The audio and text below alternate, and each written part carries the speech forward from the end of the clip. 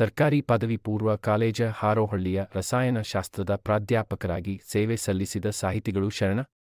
ಶ್ರೀ ಶೈಲ ಗುರುಪಾದಪ್ಪ ಮಸೂತೆ ಇವರ ಸೇವಾನಿವೃತ್ತಿ ಕಾರಣ ಬಿಳಕೂಡಿಗೆ ಸಮಾರಂಭ ನಡೆಯಿತು. ಈ ಸಮಾರಂಭದಲ್ಲಿ ಕಾಲೇಜಿನ ಪ್ರಾಂಶುಪಾಲರು ಮತ್ತು ಎಲ್ಲಾ ಪ್ರಾಧ್ಯಾಪಕರು ಹಾಗೂ ಎಲ್ಲ ವಿದ್ಯಾರ್ಥಿಗಳು ಉಪಸ್ಥಿತರಿದ್ದರು. ಪ್ರಾಧ್ಯಾಪಕರು ಹಾಗೂ ವಿದ್ಯಾರ್ಥಿಗಳು ವತಿಯಿಂದ ಅವರಿಗೆ ಸನ್ಮಾನ ಮಾಡಿ ಬಿಳಕೊಡುಗೆ ಸಮಾರಂಭದ ಯಶಸ್ವಿಯಾಗಿ ನಡೆಯಿತು.